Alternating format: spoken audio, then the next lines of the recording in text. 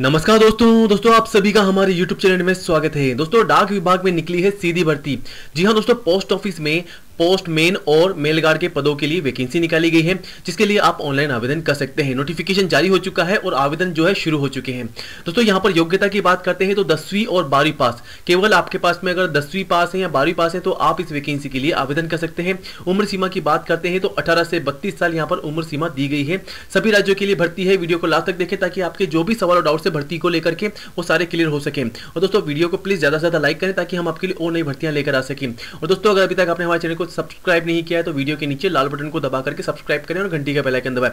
Please like करें और दोस्तों में ज़्यादा से ज़्यादा शेयर करें ताकि आपके साथ आपके दोस्तों को भी इन भर्ती की जानकारी हो और वो भी आवेदन कर सके। चलिए दोस्तों, आगे चलते हैं। दोस्तों वेस्ट बंगाल पोस्टल सर्कल में वैकेंसी निकाली गई है, जिसमें आपको ऑनलाइन आवेदन करना है। एप्लीकेशन मोड सिर्फ़ ऑनलाइन है। पोस्ट की अगर बात करते हैं तो पोस्ट मेन और मेलगार्ड पदों पर यह भर्ती है, जिसमें टोटल वैकेंसी है दो पदों पर। एज लिमिट की बात करते हैं तो जनरल कैटेगरी के लिए यहाँ पर अठारह से सत्ताईस साल है। एस सी के लिए अठारह से बत्तीस है और ओबीसी के लिए अठारह से तीस साल है। ठीक है?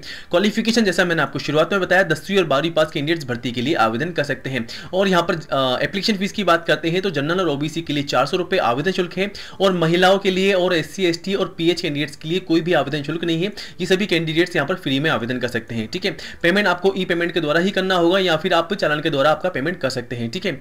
इंपॉर्टेंट डेट्स की बात करते हैं तो लास्ट डेट है चौबीस नवंबर आवेदन करने की।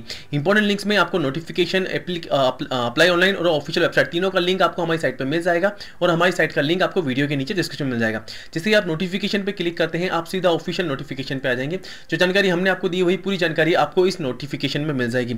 यहाँ पर आपको आवेदन करने का प्रोसेस भी बता दिया जाएगा कि आपको स्टेप बाय स्टेप आवेदन कैसे करना है और सिलेक्शन प्रोसेस के बारे में भी आपको इस नोटिफिकेशन के अंदर जानकारी मिल जाएगी, ठीक है? और आपको पेमेंट कैसे करना है, वो पूरा जो आपका प्रोसेस है, वो सारा इसमें आपको नोटिफिकेशन में मिल जाएगा, ठीक है? चलिए मैं आपको बताता हूँ आवेदन कैसे करना है। आपको अप्लाई ऑनलाइन के लिंक पर जैसे आप क्लिक करेंगे, आप सीधा ऑनलाइन पोर्टल पर आ जाएँगे।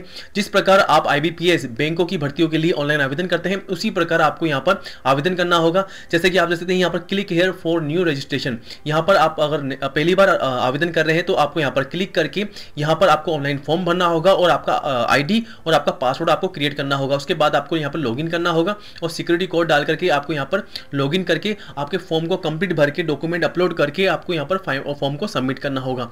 और आपकी, आपको जो एप्लीकेशन फ़ीस है, वो आपको पे करनी होगी।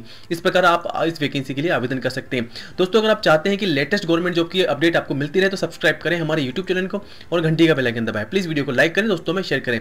मिलते हैं अगले वीडियो में, तब तक के धन्यवाद। जय हिंद, जय भारत।